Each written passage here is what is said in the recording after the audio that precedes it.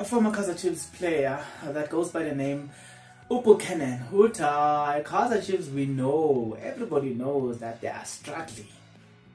and they are like, we are preparing to beat them. And we are preparing to discipline Kaizer Chiefs. We all know they are struggling.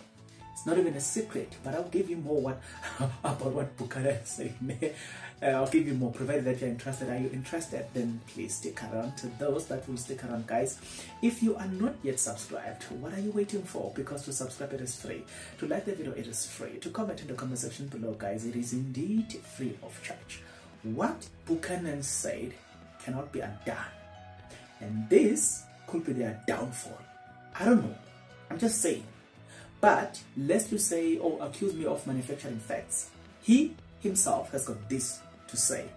Obviously, knowing knowing Coach Atazwan and how he likes to play, it's not what we are going to. It's not what we we're doing at the moment. It's not the complete idea that he he has them. He has at the moment. Yeah, he says the following: There are there are one of the team that are struggling to get going.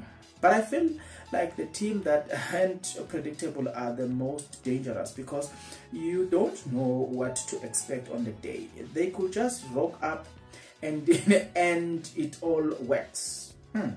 Okay. Hmm. So we can't underestimate them. We just have to take the idea of how they want to play and try and put on our own game plan and how we want to play and impose ourselves on them as much as we can. Hmm. Yes, we are going to this. We are going into this game as underdogs because of the brand of Kaizer Chiefs and considering what it stands for, right? They should be winning every game. He explained.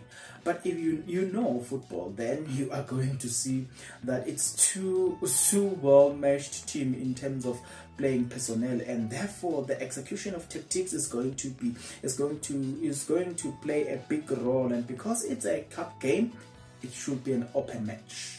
That's what he said. But uh, Buchanan, I don't know, man. You know what I know? Is that there will be a game between Kaizer Chiefs and Amazulu, and that game will take place on the 1st of October at FNB Stadium. And uh, whether Kaizer Chiefs are struggling or not struggling, when Amazulu they are what prepared or not prepared, it will be vindicated on the day. For some of us, we are not buying it. Sorry, that's me. I'm not even thinking that Kaizer Chiefs can win. I'm not thinking that Amazon can win. I'm saying the 1st of October is just around the corner and I will see you there. I don't know about you, but as for me, I'll see you on, the, on after that match. Till the next episode, please take care.